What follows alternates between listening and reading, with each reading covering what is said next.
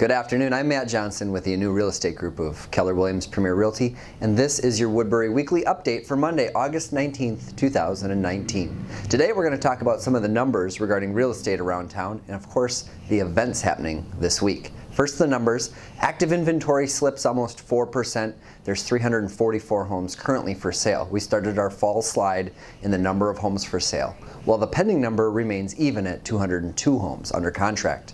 We listed 50 homes for sale in the last week and sold 48. That's a list to sale ratio of 96%, a very strong number in the late summer. That means for every home that's going on the market, one is selling. That's a good thing for the real estate market, especially here in Woodbury. Up next, a couple of events. On Tuesday evening, we have the Woodbury Area Chamber of Commerce Business After Hours taking place at Angelina's Kitchen. Looking forward to seeing my Woodbury friends or chamber friends there. And then, of course, on um, Tuesday, we got the Slice of Woodbury lunch over at the Woodbury Office Center, a networking event for business owners and self-employed people and the like. That's from 11:30 to 1, includes free pizza.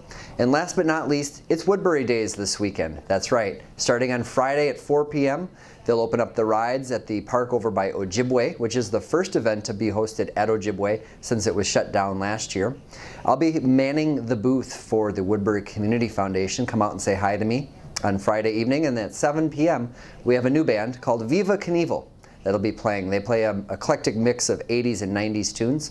Looking forward to checking that out. And then Saturday morning, Woodbury Day starts at 10 a.m. with the, uh, the midway there and all the sponsors and, and, booths. And we'll have a band on Saturday night as well at 7 p.m. called the Dweebs.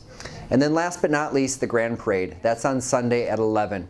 You can find out more information about Woodbury Days at woodburydays.com. If you have any questions about the real estate market or what's going on around town, I'd love to be a resource to you. Again, I'm Matt Johnson at Keller Williams at 651 775 7515. Thanks, and we'll see you around town.